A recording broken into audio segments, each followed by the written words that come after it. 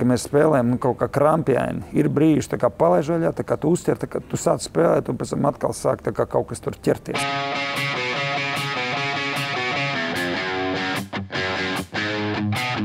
Sveiciens visiem hokeja līdzjutējiem. Latvijas izlase aizvadīs spēli ar Austriju, cīnīs panākumus un gatavojamies jau arī nākamajām mačām ar Lielbritāniju. Kā ierasts pirms spēlēm ar Ārtu Abolu sarunājamies. Un, Ārti, pirms mēs ķeramies pie Lielbritānijas, nedaudz atkāp par Austriju. Hokejā saka tā, skaistākais ir rezultāts, bet no dramaturģijas viedokļa vakar izskatījās, ka arī tas, tas viss, kas salikās kopā, bija diezgan skaisti beigās.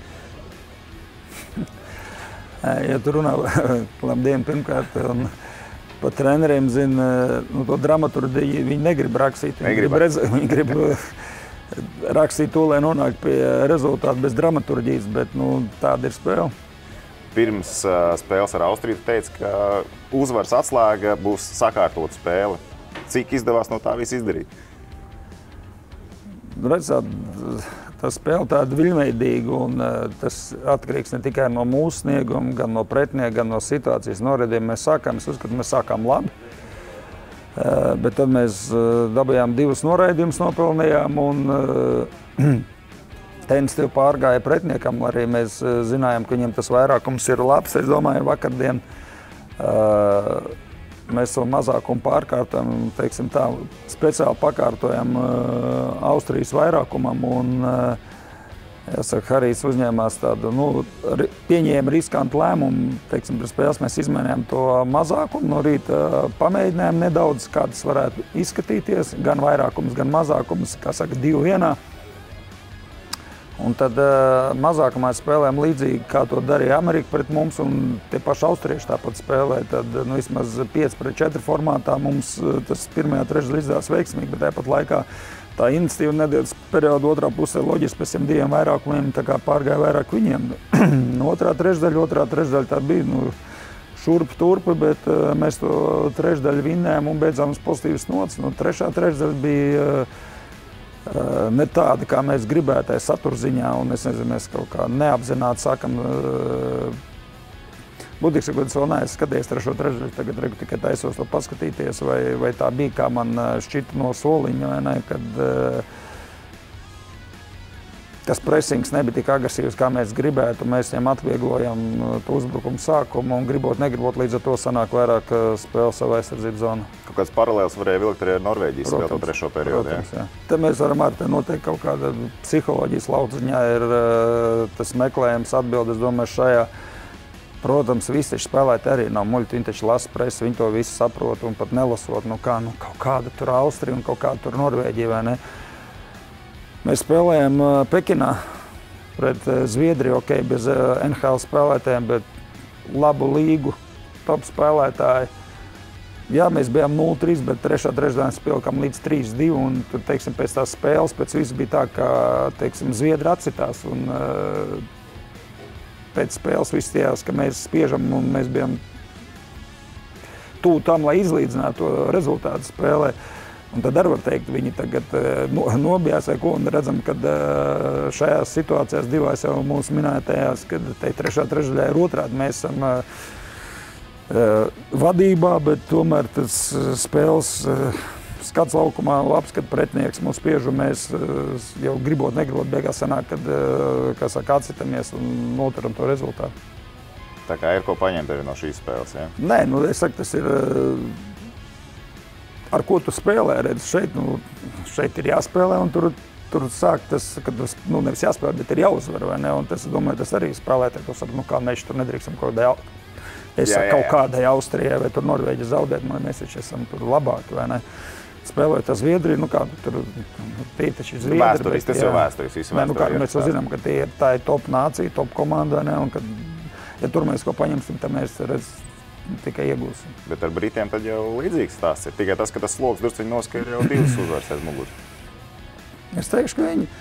Uh, Ja, ja pastāstīs tā spēle, kā viņi spēlē, tad uh, it sevišķi pirmajā trešdaļā un līdz spēles vidum viņi vispār līdzvērtīgi spēlē. Un tad tur uz spēles beigām, trešo trešdaļu viņiem tur, teiksim tā, es domāju, ka viņi pagurst, jo viņi priek, pēc hokeja mērauklis tomēr tāda gados komanda jau ir. Tur es nezinu, cik uh, Viktors bija saskaitījis, cik Naķos, cik bija spēlētāji pār pa 30, vai ne, bet tajā pat laikā Viņi spēlē ļoti saturīgu hokeju. Manuprāt, teiksim, tas izējas no presinga, viss ir ar, ar, ar īso piespēlētu tādu tehnisku hokeju, un nevis kaut kur aizmet ripu. Tādās saspringtās situācijās viņi atrod konstruktīvu risinājumu. Bieži un, teiksim, eh, iemetienu uzbrukuma zonā, no kā būtu jāuzmanās. Gan viņi paši mēģina kaut ko visu laiku izdomāt, gan arī mūsuprāt, kaut ko no lielajām komandām paņem. Atceramies, kā teiksim, Somija pēc iemetiena guva vārdus pret, pret Zviedriju. Vai to Granlunds atnesa? Es esmu redzējis, jā, ka tā Minnesota Wild ir gūs, ka nu, nestandarta aizsargs aizsargam pa vārtu līniju un tur tukšos vārtos, kā Latvijas no Lekmena piespēles iemet. Tad, teiksim, kaut ko līdzīgu mēģināja arī izspēlēt vienā no pēdējām spēlēm uh, Briti, tikai tas izpildījums bija švakarāks un tā piespēle nebija uz noju, bet bija celīga. Bet ar ko mēs varam salīdzināt Lielbritānijas komandas spēli? Vai mēs šajā turnīrā kaut ko līdzīgu spēles stilā esam redzējuši no viņiem? Salīdzinot ar kādu citu komandu.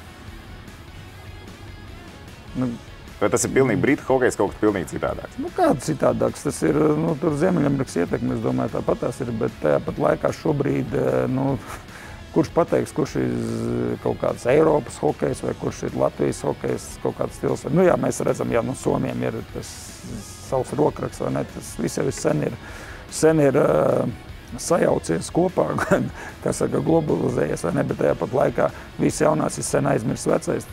Tas, kā spēlē Somi, tas ir, nu, teiksim, agrāk tā spēlēja, kaut gan, nu, agrāk tas presings vispār tur kaut kādā šeit, šeit pus, vai ne? Es nerunāju par Ziemeņameriku. Teiksim, šeit bija tāds, ka tas viduszonā, bet tagad viņi spēlēja gan, gan, vai ne? Nu, tā kā brītu hokejs, nu, es nevaru teikt, kaut kāds tīri. Viņam katram ir kaut kāda iezīme. Bet, nu...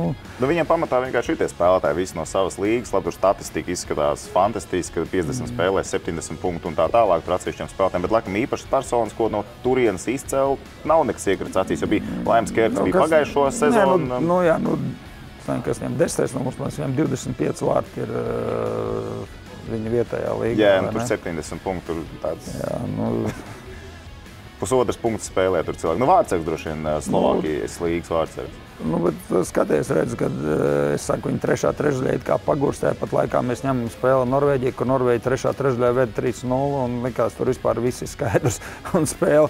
Un uh, Brīti trešā trešdaļā gūta trīs vārds un izlīdzināja spēli un uh, zaudēja tikai pēc tam pēcspēles metienos. Tā kā, nu, ne jau kaut kāda iemesla pēc, ja viņš šeit ir atslēga spēlē ar Lielbritāniju, kur būs Latvijas izlasēji?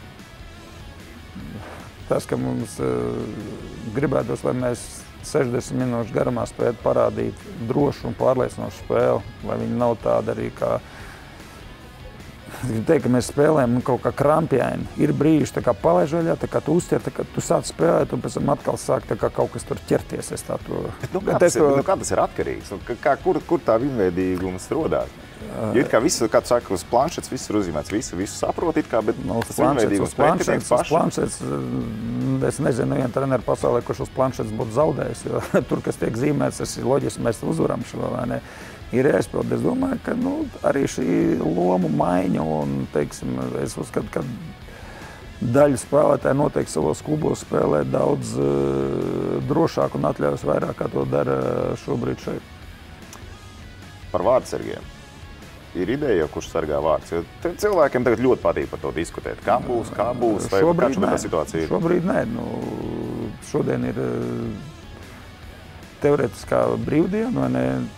Tad uh, ledus ir. Redzēsim, cik cilvēki aizies. Tas nav saka, obligātais uh, treniņš. Es pieļauju, ka tur lielākā daļa izvēlēsies šodien brīvi pēc zilām spēlēm. Vakarā mums ir uh, sapulcs, parunāsim ar doktoriem, jau zinām, Elvim ir mikrotrauma. Un tad jau, tad jau rīt no rīta noteikti mēs izmantosim ledu, un tad, tad, tad jau šobrīd tas godāts nezinu, kur būs vārds. Un vairākumā kaut kādas korekcijas ir plānotas, nav plānotas. Tikai jau strādāja pēdējā spēlē, var vairākums bija realizēts.